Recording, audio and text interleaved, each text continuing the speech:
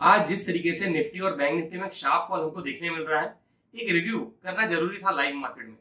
नमस्कार, मैं जीत सिंह स्वागत करता हूँ चैनल ठाकुर कैपिटल में। अगर हम लोग देखें शार्प फॉल जिस तरीके से निफ्टी और बैंक में हमको देखने मिल रहा है वैसा मुश्किल लगता है कि ये मार्च 2020 के ऐसा फॉल रहे। जैसा मार्च 2020 में फॉल था, एक शार्प फॉल आया था और seven thousand five double one touch किया था निफ्टी ने। वैसा फॉल मुश्किल लगता है कि उसके पीछे रीजन है। जैसे कि पहले जब ये कोविड आया था इंडिया में तो हमको एक्सपीरियंस था कि किस तरीके का वायरस है, कैसा स्प्रेड होता है, मगर आज हमारे पास कम से कम एक साल का एक्सपीरियंस है। उसके बाद हमारे पास वैक्सीन नहीं था, हमारे पास सिर्फ़ एक ही ऑप्शन था कि लॉकडाउन करने का ऑप्शन था इसको स्प्रेड को रोका जा सके। मगर आज हमारे पास वैक्सीन है और ज़्यादा से ज़्यादा जैसे गवर्नमेंट ने 2021 में टारगेट लिया कि 40 करोड़ लोगों को डोज देगी और वैक्सीनेट करेगी इंडिया में। तो तकरीबन तकरीबन 35 परसेंट पॉपुलेशन को वैक्सीनेट कर कर चुकी होगी इंडियन गवर्नमेंट जो टारगेट लिया है।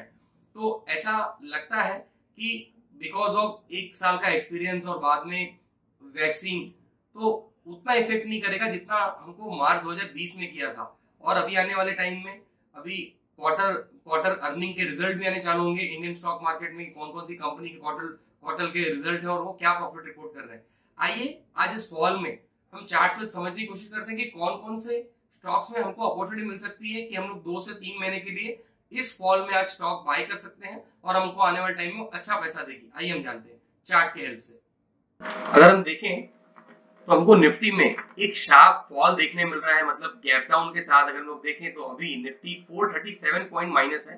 अगर लो हम लोग देखें तो वो है 14,367 तो लोग एक चीज़ इसमें ये चेक कर सकते हैं कि निफ्टी ने अपने प्रीवियस लो को अभी तक ब्रेक नहीं किया है। मतलब ये चेक कर सकते हैं कि जो 25 मार्च का जो लो बना था अभी तक वो निफ्टी ने ब्रेक नहीं किया है। और देख सकते हैं शायद यहाँ से निफ्टी सस्टेन करे। हमारे बड़े टाइम फ्रेम में अगर लोग देखें तो निफ्टी एक साइडवेज जोन में ट्रेडिंग ट्रेडिंग कर रहा है, ये प्रॉपरली जोन में। और निफ्टी में आज अगर हम लोग देखें तो आज हम लोग रिलायंस इंडस्ट्री को देख सकते हैं रिलायंस इंडस्ट्री में हम अपॉर्चुनिटी देख सकते हैं कि हम लोग बाइंग अपॉर्चुनिटी देख सकते हैं रिलायंस इंडस्ट्री में। बाद में स्टेट बैंक ऑफ़ इंडिया भी ये बहुत हम लोग बाइंग अपॉर्चुनिटी देख सकते हैं। प्रॉपरली शार्प फॉल हुआ है, साढ़े सात परसेंट डाउन है आज। उसके बाद हम लोग देखें तो अल्ट्राटेक सीमेंट में हम लोग अपॉर्चुनिटी देख सकते हैं।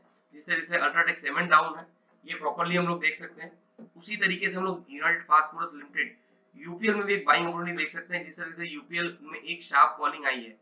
तो एक चेक कर सकते हैं कि आने वाले टाइम में हम लोग Reliance industry State Bank of India UltraTech cement और एशियन पेंट में भी हम लोग एक बहुत अच्छी अपॉर्चुनिटी देख सकते हैं बाइंग अपॉर्चुनिटी हम लोगों टोटल स्टॉक डिस्कस किए बजाज फाइनेंस बहुत बहुत मतलब ज़्यादा आपको एक सेलिंग प्रेशर देखने मिल रहा है बजाज फाइनेंस में।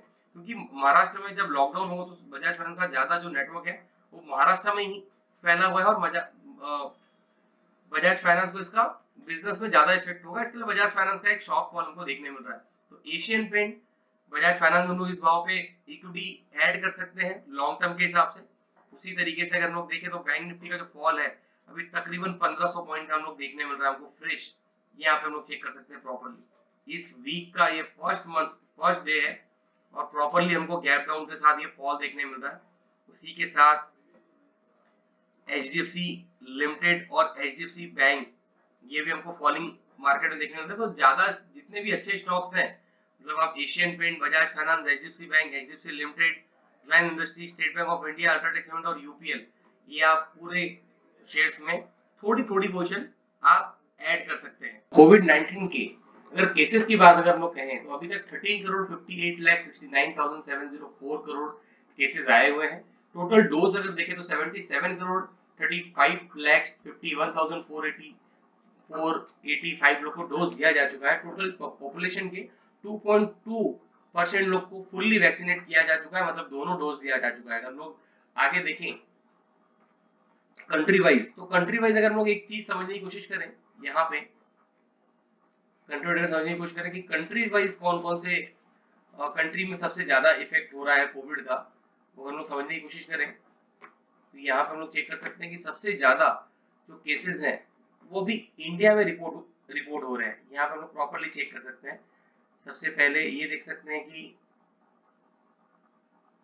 सबसे पहले हम लोग ये देख सकते हैं कि वर्ल्ड वाइड यूनाइटेड स्टेट में तीन करोड़ बारह लाख सत्रह हज़ार सेवेंटी लोग सेवेंटी नाइन लोग इन्फेक्टेड हुए new cases sixty four thousand उसके बाद ब्राज़ील में सेवेंटी वन थाउज़ेंड और वर्ल्ड वाइड जो अभी सबसे ज़्यादा केसेस आ रहे हैं, वो इंडिया में आ रहे हैं। और इंडिया में आ रहे हैं जैसे कि हम देख सकते हैं लास्ट डे में one lakh fifty two thousand eight seventy nine लोग रिपोर्ट हुए हैं। अगर लोग देखें, यहाँ पे जो डेथ हुई है, वो एक दिन के अंदर हुई है nine thousand eight one nine की। टोटल डेथ अगर देखें तो one lakh sixty nine thousand two seventy five लोग का डेथ हुआ है। वर्ल्ड वाइड भी देखें तो twenty nine lakh thirty five thousand two seventy one लोग का डेथ हुआ है। अगर वैक्सीन की बात करें, अगर नीचे अगर लोग देखें तो कौन कौन सी कंट्री में और तो सबसे ज़्यादा अभी इंडिया पे इफ़ेक्ट हो रहा है, जिसकी वजह से मार्केट का एक नेगेटिव रुझान है, क्योंकि वर्ल्ड वाइड सबसे ज़्यादा केसेस अभी इंडिया में बढ़ रहे हैं। अगर वैक्सीन अगर लोग देखें तो कितना वैक्सीन लगा है वर्ल्ड वाइड तो लोग वो समझने की कोशिश करें अभी। ये चेक कर सकते हैं कि वर्ल्ड वाइड 2.2 परसेंट वैक्सीन लगा है ओवरऑल पॉपुलेशन को लेके, जिसके अंदर यूनाइटेड स्टेट में 21.5 परसेंट पॉपुलेशन को उन्होंने वैक्सीनेट कर कर दिया है अब तक। और यहाँ पे अगर इंडिया में अगर लोग देखें तो यहाँ पे 0.93 परसेंट अभी तक एक परसेंट लोग को भी वैक्सीन दोनों डोज की बात करें तो one crore twenty seven lakhs nine लोग को दोनों डोज लग चुका है इंडिया में। वही यूनाइटेड किंगडम में बात करो तो दस लोग को वैक्सीनेट किया जा चुका है। अगर हम आपको थोड़ा सा भी स्टॉक मार्केट बारे में अपडेट कर पा रहे हैं, कुछ बता पा रहे हैं तो प्लीज़ हमारे चैनल को सब्सक्राइब करें शेयर करें कमेंट करें। जो जो भी आपके फ्रेंड या रिलेटिव स्टॉक मार्केट में इन्वेस्टमेंट करते हैं, ये वीडियो ज़रूर उनके साथ शेयर करें तो शायद उनको थोड़ा सा हेल्प हो आज के फॉल में डिसीज़न लेने में। नमस्कार, धन्यवाद।